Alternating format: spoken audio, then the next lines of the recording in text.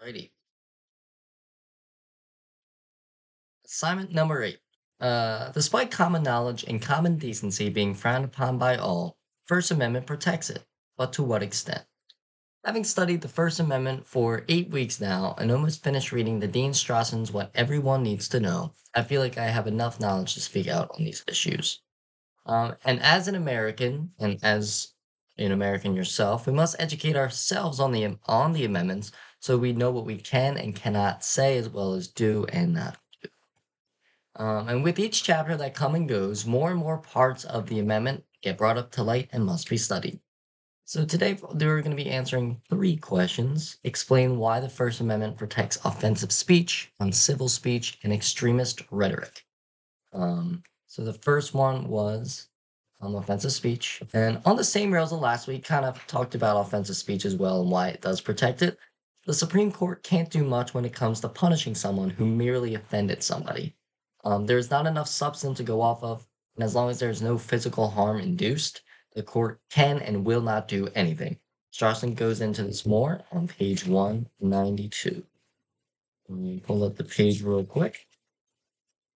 Even though listeners were highly offended by the speech of Jehovah Witnesses preacher Jesse Cantwell, which conveyed a general attack on all organized religious systems as instruments of Satan and injurious um, to man, and even though the court found that his expression would naturally offend most listeners, it nevertheless spurred those facts as purported justifications for restricting the speech. The court hailed the vital role that offensive speech plays in our pluralistic democracy.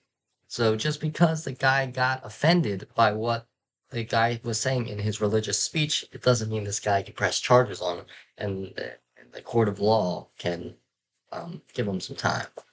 Um, second point is just uh, offensive or um, uncivil speech. Uh, some someone might be uncivil as a call to action. If someone is being uncivil to begin with, and someone exposes it while also being uncivil, then the issue can be brought to light. Strossen further explains this as well on page 195.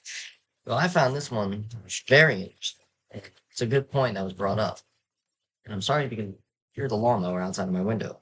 Accordingly, if an individual deliberately chooses to convey a message in an uncivil, even disrespectful manner, that individual choice must be protected. Indeed, the incivility and disrespect may very well constitute integral elements of the substantive message Consider, for example, messages that protest certain official, unofficial conduct.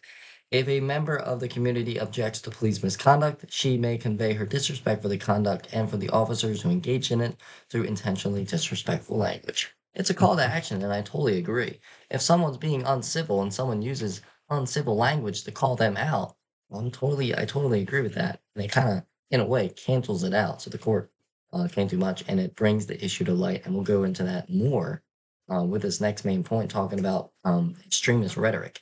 Um, ex- extremism could end up save lives. Um, on social media, we see a lot of things that should be deme- uh, deleted immediately. But what if it helps us solve a bigger problem? Once again, bringing more light, as mentioned above. On page 187, Strossen goes into how, if someone posts extreme content, it could help solve a bigger problem. Um, so we're right back to 187. Um, in the same vein, a 2017 New York Times story described how YouTube, in its effort to purge extremist propaganda from its platform, had inadvertently removed thousands of videos that could be used to document atrocities in Syria, potentially jeopardizing future war crimes prosecutions. So, with YouTube deleting all that, they took away all the, the subject matter that could be used to press charges on on people. Um, could it I could definitely see the negatives of it. You know, people being exposed to like gruesome images, gruesome videos, gruesome opinions. Um, but it, it could help in the long run. So, the review of my main points I made today the court will and will not do anything if someone is just offended by something someone said.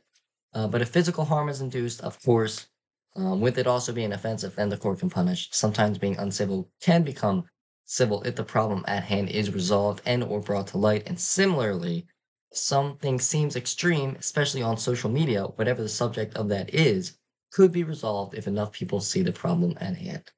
Um, I never really thought of it this way, but I do agree. Sometimes the harsh reality needs to be talked about, And with the First Amendment protecting people that merely want to speak up while also maybe being uncivil and offensive to some, the conversations need to happen for our country to go forward.